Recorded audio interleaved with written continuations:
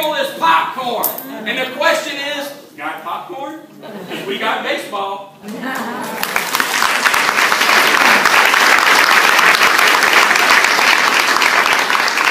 I, I, put a Facebook post out there that said the first popcorn was on me. Well, here's the first popcorn. there it is. Uh, this is obviously something that is near and dear to all of us. I see my great friend Barry Lyons in the back corner back there. Uh, a beloved Biloxian, a great major leaguer, and a huge supporter of baseball on all levels. You know, we just keep focusing on Barry and, and Major League Baseball and this baseball part. But we need to remember that, you know, it all starts at these little kids. And a few years ago, ago uh, we called it the Day with the Pros. And Barry came out uh, to Woolmarket, and I put a uh, program together out there. And Barry brought some other minor leaguers.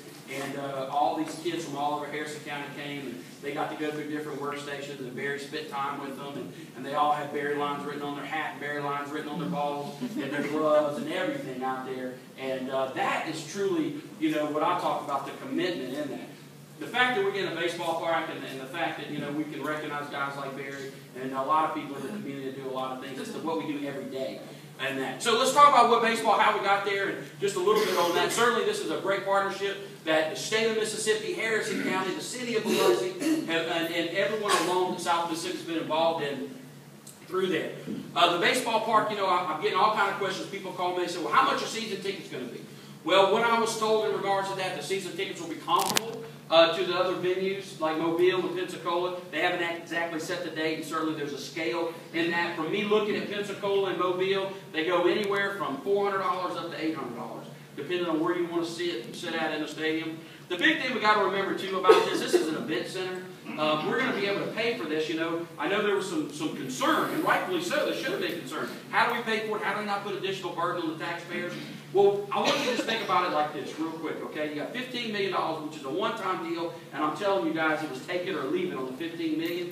We've been trying on this project for a long time. I've been involved in the project for six years. I was really blessed and, and proud that I was given an opportunity to speak at the groundbreaking uh, by, uh, by Tim Bennett and, and the city. Um, just kind of as a reward for all the work we've been doing together, just behind the scenes quietly.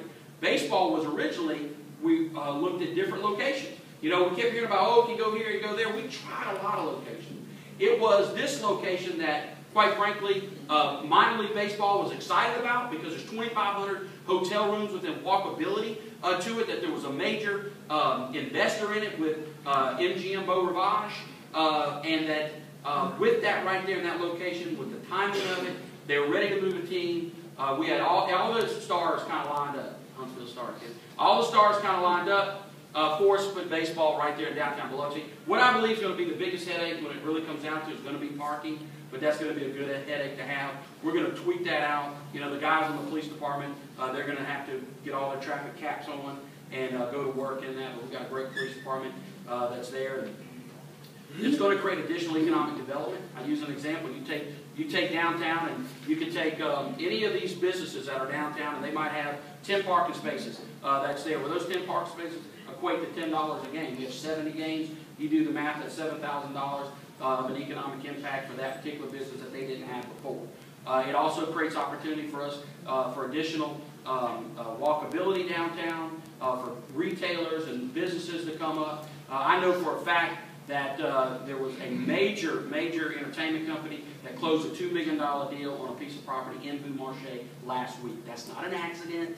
That wasn't, they just woke up and they just happened to be there that day. That's because baseball's coming to downtown Biloxi, and these are already dollars and already programs and already investors nationwide, folks, that are looking at Biloxi, Mississippi, and they want to be here. There will be more to come. You've just got to hold on, have faith in your administration. I commend the city of Biloxi.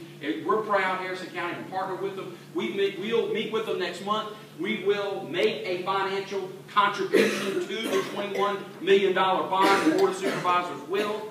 Uh, in that, it will be a substantial contribution uh, to